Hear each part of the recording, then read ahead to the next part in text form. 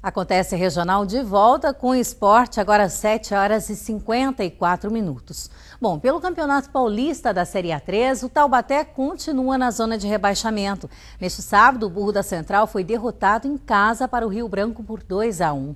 Com o resultado, a equipe ocupa a décima colocação com apenas três pontos. Pela Série A1 do Campeonato Paulista, o Guaratinguetá perdeu mais uma. Já o São José confirmou a recuperação na Série A2. Veja os gols. Em Guaratinguetá, a Garça saiu na frente do Palmeiras com este golaço do lateral Pio. O Palmeiras empatou o jogo do jeito que mais gosta, na bola parada. Marcos Assunção levantou para a área. A zaga não afastou e Arthur deixou tudo igual. Ainda no primeiro tempo, Daniel cometeu o pênalti neste lance e foi expulso. Barcos bateu e virou para o Verdão. Já no segundo tempo, João Vitor arriscou de longe e fez 3 a 1. E nos descontos, Pio bateu falta e contou com a falha do goleiro Deola para diminuir o placar. Fim de jogo, Palmeiras líder 3, Guaratinguetá na vice-lanterna 2. Pela Série A2 em São José dos Campos, o baixinho Rodriguinho subiu de cabeça para fazer 1 a 0 contra a União São João de Araras. E Renato Santiago de pênalti fechou o placar. 2 a 0, resultado que tirou o São José da zona de rebaixamento. E o São José volta a campo na próxima quarta-feira contra o Sorocaba na casa do adversário. Pela elite do Paulista, o Guaratinguetá volta a jogar na próxima quinta-feira contra o Catanduvense fora de casa. Boa sorte. 7 horas e 55 minutos e agora a gente volta a falar de carnaval. Em São Sebastião, a folia se estendeu em alto mar. Centenas de embarcações participaram do Carnamar 2012. Barcos, lanchas, jet skis, todo tipo de embarcação estava no clima do carnaval em São Sebastião. O Carnamar 2012 teve muita irreverência em alto mar.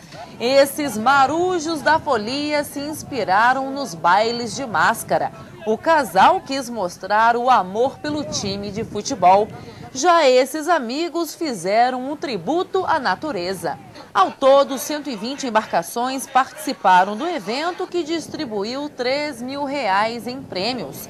A criatividade e originalidade de cada barco foram levadas em conta no concurso.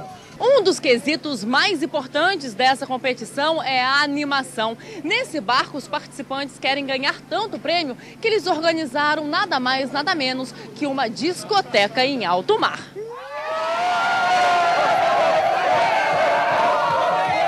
A festa teve direito a DJ tocando as músicas mais famosas desse carnaval.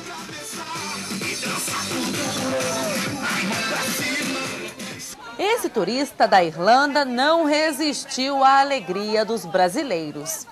Eu amo Brasil, eu amo carnaval. Os amigos estavam uniformizados para a folia. Tudo foi pensado pela amiga Uana. Aqui todos somos amigos há bastante tempo, é super fácil, todo mundo usa muito bem. Tem um pessoalzinho que sempre se junta, a gente tem alguns patrocinadores, a gente corre atrás. E aí fica muito fácil, galera super animada, todo mundo a fim de curtir. É isso aí, nossa família, é uma legião isso aqui. Sem o carnaval, o carnaval não existe. Vem pra cá, meu. Carnaval é tudo de bom. E o agito também se espalhou pelas areias da praia do São Francisco. Esse grupo de amigos preferiu curtir o carnaval em terra firme. Foi difícil saber quem dançava melhor, os meninos ou as meninas. Quem dança melhor? As meninas, lógico, né? Porque, porque as meninas têm mais gingado do que eles, né?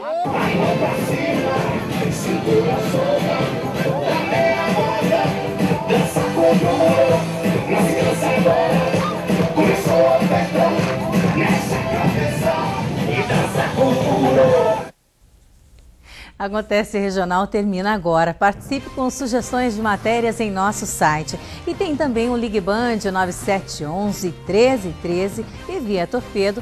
Mande a sua mensagem com as letras BV para o número 72250. Ao meio-dia e meia tem Jogo Aberto Regional e a gente volta a se encontrar na primeira edição do Band Cidade.